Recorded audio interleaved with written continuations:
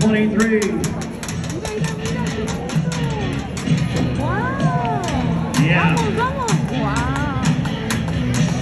Hey, this is shaping up to be a great run. Ashley Aller.